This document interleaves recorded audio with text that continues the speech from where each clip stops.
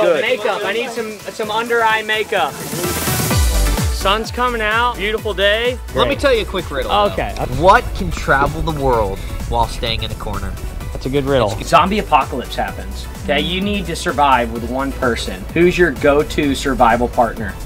I feel judged. Why do you feel judged? You haven't even answered. and You feel judged.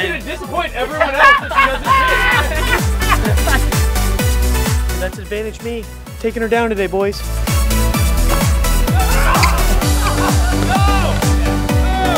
Did it leave a ball mark? Oh! Oh, the Insta Bruise! Did you see the lines of the tennis ball? The Insta Bruiser! I'm Serena Williams, and we're about to do the Can Smasher. Oh,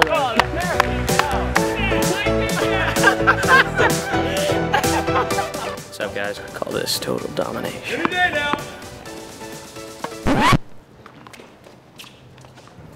That's why you get two. Coby's clocking me. I am guesstimating that I could serve at 90. We're about to find out.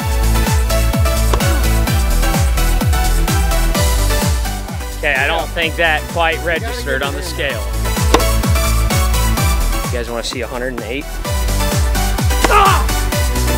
Serena, pretty good, huh? Yeah, I thought so. Yeah, nice. Yeah, what? Oh, yeah, totally. Yep, we play double sometimes. Yeah.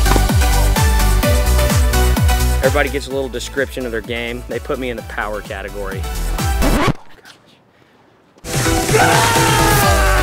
Good riddle. Good riddle. And I'll hit you with one more. So here's the deal. You've got three light switches in your house. One of them controls the basement light, which you cannot see. It is down a hallway, down the stairs.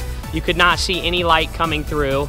You can only take one trip down to the basement, but you must figure out which light switch of the three controls the basement light. And there's a real answer. It's not like you flip the other two on and then the kitchen light next to you comes on and the closet light. It's like only one of those light switches works and only one controls the basement. How do you do it? Comment below if you know the answer. Signing off for now. Gare pound it, Pound it. core nogs, Dogs. And a tie watch twister.